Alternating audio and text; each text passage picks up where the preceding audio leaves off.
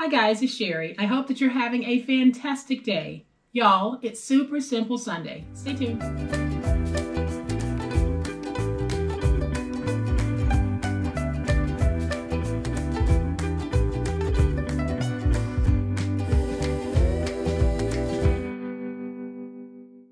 Welcome to my channel. I am so glad that you decided to stop by.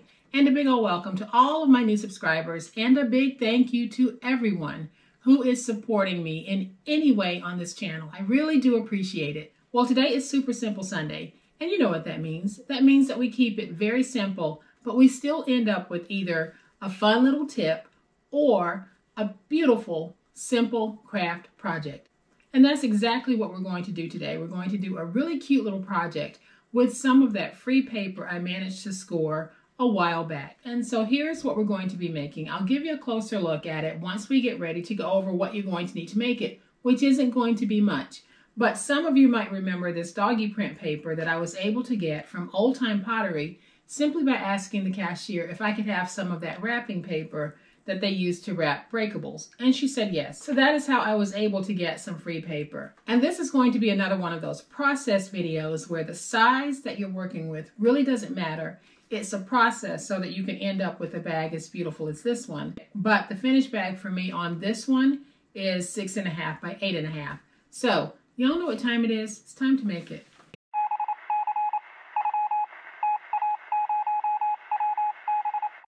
And so here is a closer look at today's project. We're going to be making this super elegant doggy bag, but it is going to be so easy to make.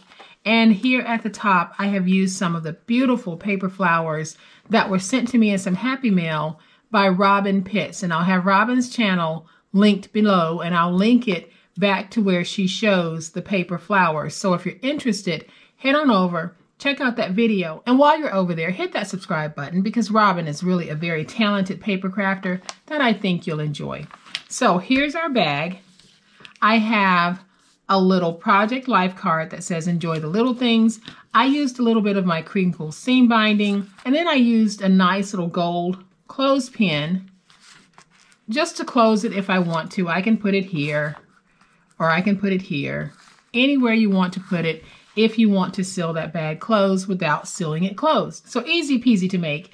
And we're going to do the chip bag look here at the bottom. So here's what I have. I have a piece that measures 14 by 10. Again, this is more about the process than the paper size that you're using. So you can actually use a 12 by 12 or a 12 by 10. You don't necessarily have to have a piece that is 14 by 10, but if you do have some rolled paper, this is a great time to pull it out. So all I'm going to do is take my paper and basically just overlap it to where I want it to be. Now I'm going to go ahead and put this one on top like that. And you can see that the bottom isn't even. We are going to trim that, try to get it a little bit straighter. So if your paper isn't even, this is the process that you can follow to even it. So I'm just trimming off after I have folded over. And now I have a nice even piece that I can work with. So now when I open it, I am just going to take it and fold it over like that. And really how much you fold over is completely up to you. Again, we're doing a process video and not necessarily exact measurements on our video. So I am just going to take my finger, go along that, and get it nice and creased. And now I'm just going to take some tape, place some tape along the top, and I hope you guys are enjoying hide and seek. If you don't know what hide and seek is, we're playing it through the 27th of October in celebration of my three-year anniversary on YouTube and 100,000 subscribers. So I'll have a video linked below. If you're interested in playing, check out that video as well. So I'm going to go ahead and put another strip here. We're going to take this piece and fold it over. It's pretty easy, right? Then I'm just going to use my handy dandy big old spatula to go in, get that nice and smooth. And so now I'll take my tape. I'm going to put it right there on that center section. And I'll also go ahead and put it on this section as well. And now I'll take this piece on the end, and I think I'm going to trim off just a little bit because we really don't need that much because we're going to treat this like a glue flap. So all I did was trimmed that shorter end just a little bit. And how much you trim it is up to you, and whether or not you trim it is up to you. So I'm going to take my tape, and on the outside of what would be considered my glue flap, I'm adding tape. And then I'll put just a little bit here because I want to make sure that the top of that bag is nice and closed when I do the overlap. And then we'll place just a little bit right here. So now I can peel away my tape.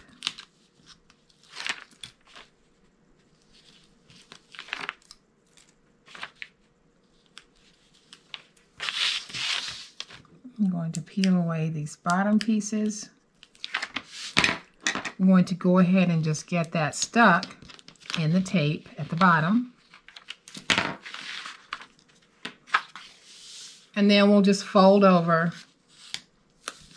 that piece. And I can see that it's still just a little bit uneven at the bottom, which is not going to be that big of a deal because we are going to use the crimper.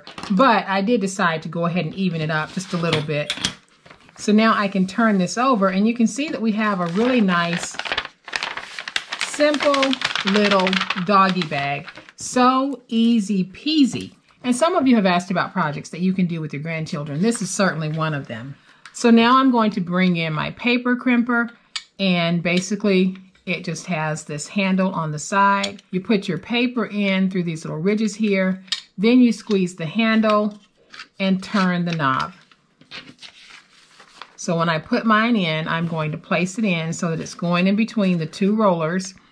Then I'm going to look at it because I want my lines to be fairly straight. So I'm making sure that when I place my paper in, it looks like it's laying in there nice and straight. I'm just going to slide it over. And now I'll squeeze down on my clamp. And this is the part where you can go back and forth if you want. And what you're going to end up with is something that looks like a potato chip bag. And you have that look. Now, for those of you who don't have a crimper, I did demonstrate a technique on how you can get that crimped look in a video. And I'll also have that video linked in the description box below. So now we have our sweet bag. And it's simply a matter of decorating however you want to decorate. So I have this project life card that says think happy thoughts. I'm going to use some of my Tim Holtz Distress Ink because I want to knock a little bit of that brightness off of this Project Life card.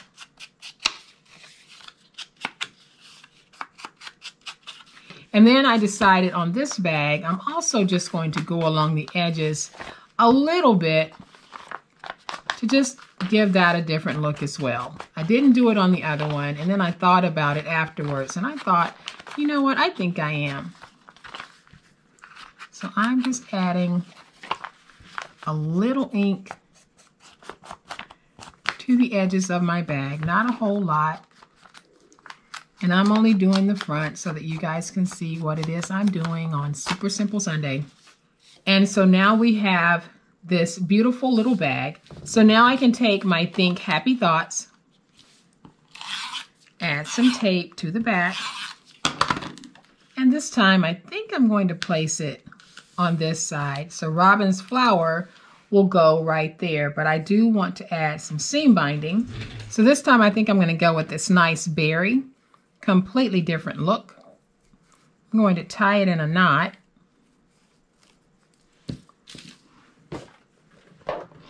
Then I could use my glue gun to put this down, but I'm just going to use some of my little glue dots and I'm going to place that right there. I'll take my seam binding and lay it in the glue dot and then I'll trim it. And now I can take another glue dot and I'm just going to take one of the larger ones this time because I really want it to support that flower. And I'm going to place that glue dot right there. I'm going to take Robyn's beautiful flower and place it on the glue dot and you can see that it's not going anywhere. So then I'm going to take another clothespin, this one is gold, and I'm just going to tuck it behind just like that or you can move it over here if you want. Completely up to you how you want to put that clothespin on. I am just going to tuck mine there for the time being. And now I have a really sweet, super simple Sunday bag that I can use for any reason, season, or gender made my bag using free paper. So the cost of making the bag portion of this was only the cost of tape. And then I used a gifted flower, a little bit of seam binding, and a project life card. So this is not only super simple, but it's super economical as well. And that's one of the things that we're all about on this channel is taking something that ordinarily would not cost a whole lot and turning it into something that looks like it cost a million bucks. So I am bringing the first one back in just so that you can see how gorgeous these are. Guys, three things. Go check out Robyn's video where she talks about how to make the flowers. Then if you're interested in the crinkle process here, look for that video below. And if you're interested in the hide and seek game, check the description box below as well for that video. Guys, I hope that you have enjoyed this super simple Sunday craft. If you have, please hit the like button. If you are not a subscriber to my channel, I'd love to have you join this amazing online crafting family. You guys, as always, please be safe, be kind, happy crafting, and we'll chat later. Bye.